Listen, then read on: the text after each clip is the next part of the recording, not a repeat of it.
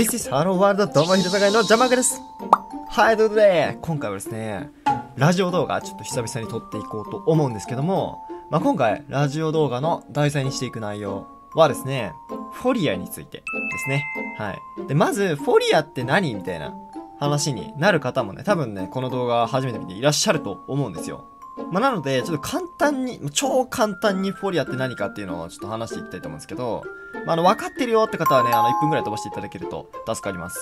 はい。フォリアっていうのは、あの、僕が所属しているチーム、まあ、クランということになっておりまして、まあ、僕の場合、アバロンとフォリア、両方に所属しているんですけども、まあ、荒野行動をやることにおいては、フォリアの方で活動をしていました。まあ、一時期ね、アバロンの選手枠として、まあ、出てた時もあったんですけども、そちらも解散してしまって、え今はフォリアの選手枠として、まあ、一応やってるわけなんですけども、まあ、そういう集まりですね。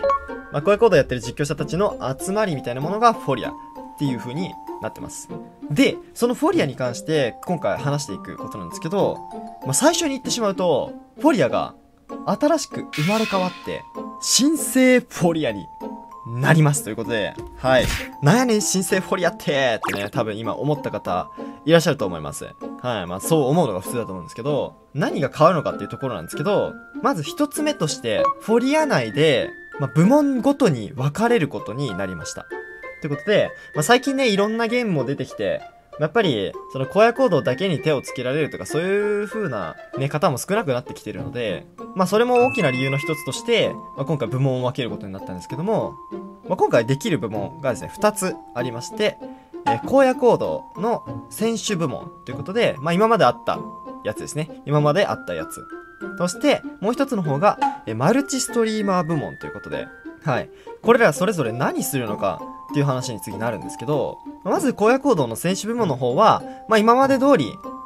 まあ多分9時頃からの配信になるんじゃないですか。生配信。あ、ぜひお越しください。よろしくお願いしますね。ということで、あの、ポリアの活動、いつも9時頃からやってるんですけども、まあ今まで通りの活動が、えー行われるよという風になっております。で、マルチストリーマー部門っていうのは何をするのかというと、まああの、選手部門の方の人が足りなかった時の、まあ助っ人として荒野行動はやる、みたいなニュアンスで、とりあえずマルチストリーマー部門ということで、まあ、他にもいろいろな配信、いろいろなゲームの配信とかもするよ、みたいな。まあ、そういう雰囲気で捉えていただけると助かります。で、マルチストリーマー部門、助っ人って言ってたけど、じゃあ選手部門人足りてるの？っていう話に次なるじゃないですか。そうなんですよ。そこで今回、新生フォリアなんですけども、あの、メンバーを多分募集すると思います。とかしているんじゃないかな。どうだろう。この動画が上がる頃にはもしかしたらしてるかもしれないんですけど、まあの、詳しくは、ツイッターの方でですね、あの、発表されてると思います。この荒野行動のフォリア選手部門の方をですね、多分2、3名募集ということになってるんですけども、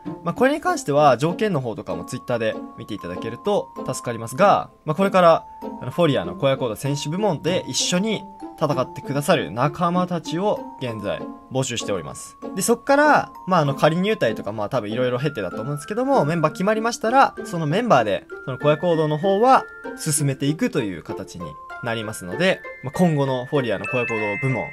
選手部門、ぜひご期待ください。まあ、荒野行動にね、熱心に打ち込む人たちがさらに何人か入ってくるっていう風に考えられますので、まあ、より、今よりももっと荒野行動の実績を積むことができるんじゃないかなと、まあ、結果を残すことができるんじゃないかなと思われます。頑張ります。頑張りますということで。あとそうだ、あのメンバーについてちょっとまだ言ってなかったので、その、二つの部門のメンバーをまずちょっと発表させていただきたいんですけども、まず先に、えマルチストリーマー部門の方からちょっと発表させていただきます。えメンバーがですね、まあ、代表兼メンバーのハゲさん、そして、えー、イザヨイさん、そして、モフさん、そして、エビアンですね。はい。で、この以上4名が、えー現状、あの、マルチストリーマー部門として配属されている方々となります。そして、まあ、残りの人たちが荒野行動の選手部門なんですけども、フォリア選手部門として、えー黒騎士さん、そして、トマくん、そして、ウパちゃん、そして、僕ですね。この4名ですね。まあ、44で分かれる形となりました。で、まあ、それぞれの部門ごとにとりあえずリーダーを決めるということで、まあ、なんか、選手部門のリーダーとしてなんか僕が選ばれまして、ちょ僕があのリーダーやることになったんですけど、まあ、特に深い意味はあんまないと思います。深い意味はなあんまないと思います。まあ基本的に、あれですね、なんかやらかした時に来るのはリーダーみたいな ところと、まあ、あとはまとめる部分ですかね。チーム全体の意見とかをまとめる部分として、僕があの、フォリアの選手枠の中のリーダーに選ばれました。そしてマルチストリーマー部門に関しましては、まあ、あの、代表がハゲさんっていう風になってるので、まあ、リーダーとしてイザユさんが選ばれたという形になります。まあ、一応これは形上って感じなんですかね。うん。まあ、その辺についてはこう今後、おいおい詳しくね、決めていくんじゃないかなと思います。あ、あとちょっと言い忘れたんですけど、あの、マルチストリーマー部門に関しても、なんかもしかしたらメンバーを募集する可能性もある多分、あると思うんですよね。まあ、そちらに関しては詳しくはそのマルチストリーマー部門の方々から多分あの発表があると思いますので、そこら辺は続報をお待ちくださいということになると思われます。まあ、噂によると、まあ、YouTube やってたりすると、YouTube とか配信関係やってたりすると、もしかしたら入る資格を満たしているとみなされる可能性があるのかな？ないのかな？わからないですけど。ま詳しくはね、今後多分話が進んでいくと思いますので、そこら辺もぜひご期待ください。まあ、今回話した内容に関しましては、まあ、チーム全体で話し合って、ミーティングでですね、話し合いまして、決めた結果となりますので、温かく変革をですね、フォリアの変革をちょっと、あの、見守っていただけますと幸いでございます。まあ、多分ね、反対意見とか、まあ、こここうしたらいいんじゃないかみたいな感じで思う方も多分いらっしゃるとは思うんですけども、まあ、それに関しては、まあ、チームの意向ということなので、まあ、これからチームがどのようにしていきたいかということを話し合った結果のことですので、受け入れていただけますとありがたいです。ということで、今回はですね、新生フォリアのお話をさせていただきました。まあ、基本的に毎日9時あたりから活動はですね、基本しているので、まあ、たまにしてない時もあるんですけど、あと金曜日はね、あの、高級日ということで、フォリアの活動は基本休みにはなってるんですけども、まあ、あの、ほとんど毎日多分9時頃から配信してますので、ぜひ配信も見に来てくださると嬉しいです。ぜひ応援よろしくお願いします。ということで、心の先は背景で流れている大会動画の続きをご覧ください。どうぞ。